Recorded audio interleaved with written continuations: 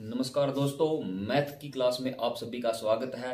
आज हम डिस्कस करेंगे स्केलर और वेक्टर विद एग्जांपल तो नाउ स्टार्ट सबसे पहले स्केलर स्केलर को बोलते हैं एक राशि, यानी a quantity which has magnitude जिसके अंदर केवल मैग्नीट्यूड होता है but no direction magnitude means length modulus आप निकालोगे वो होती है स्केलर क्वांटिटी और वेक्टर की डेफिनेशन होती है तो वेरी वेरी इंपॉर्टेंट है। वेक्टर में क्या होता है? मैग्नीट्यूड भी और डायरेक्शन दोनों होती है। मैग्नीट्यूड भी होगा और डायरेक्शन भी होगा। अब कुछ एग्जांपल्स के साथ देखते हैं कि स्केलर क्वांटिटी क्या होती है। ये आपके पास है स्केलर क्वांटिटी इसके एग्जांपल फिर ये आपके पास है वेक्टर क्वांटिटी इसके एग्जांपल और वहाँ आपके मतलब मैक्सिमम ज़्यादा ही ज़्यादा एग्जांपल देके समझाया गया वहाँ। तो स्केलर क्वांटिटी में क्या है? जो डिस्टेंस होती है डिस्टेंस लेंथ विदाउट डायरेक्शन बिना किसी डायरेक्शन के जो लेंथ होगी, यानी डिस्टेंस होगी डी से नोट करेंगे, जैसे इसका एग्जांपल है, आप ले सकते हो 25 मीटर 20 मीटर 30 मीटर। ये किसका एग्जांपल है? स्केलर क्वांटिटी का। नेक्स्ट एग्जांपल आपके पास स्पीड विदाउट डायरेक्शन बिना किसी डायरेक्शन के स्पीड में चल रहे हैं, जैसे सत्तर किलोमीटर पर हावर्स फिर है मास, द्रव्यमान बोल जैसे कितने के जी फिफ्टी एट के जी ये एग्ज़ाम्पल है। फिर energy emit in all direction five के जी के जूल फिर अगर आपके पास temperature average kinetic energy on an object यानी 25 डिग्री सेल्सियस।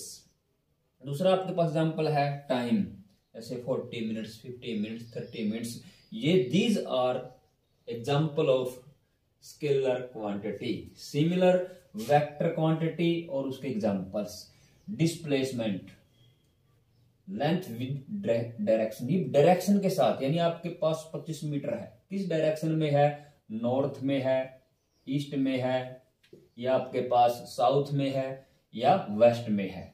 फिर velocity velocity how fast an object move with direction or without direction था, ये विद डायरेक्शन के साथ, जैसे 20 किलोमीटर पर हावर 280 किलोमीटर। फिर आपके पास है फोर्स फोर्स यानी मास मल्टीपाई एक्सिलरेशन जैसे 60 एंड डाउनवर्ड फिर आएगा आपके पास weight